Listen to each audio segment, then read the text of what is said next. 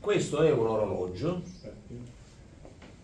E come tutti gli smartphone, gli smart, eh, su cui poi vi daremo eh, alcuni numeri che eh, probabilmente le sue app ha le sue caratteristiche, condizione di ricevere un segnale di richiesta di, di uno di, di, quei reati con il magistrato che segue le indagini, quindi a seguito della presentazione eh, a, cui stata, a, cui è stato dato in uso eh, uno di questi apparecchi, e immediatamente mette a rischio eh, le vittime, cioè le, le, persone che hanno denunciato. In particolare allarme sociale che necessitano una, eh, indubbiamente una sensibilità operativa, una sensibilità anche nell'approccio con la vittima per cercare di perimetrare. Un dispositivo di allarme da polso che prende la forma di un normale smartwatch.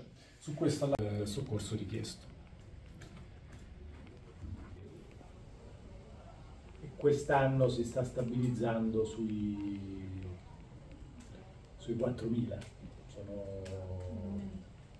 Sono, sì, sono leggermente aumentati dopo la riforma Roccella, sono leggermente aumentati il numero e siamo ormai stabilizzati sui 4.000 l'anno.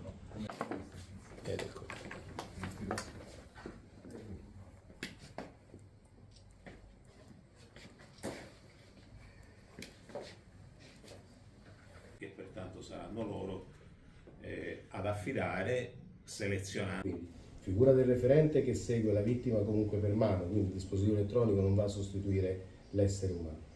Il eh, responsabile del sistema operativo che va continuamente a fare il check e l'operatore centrale operativa, quindi c'è un, un, un ombrello abbastanza... Va bene, grazie mille. Buon lavoro, grazie. parte d'allarme.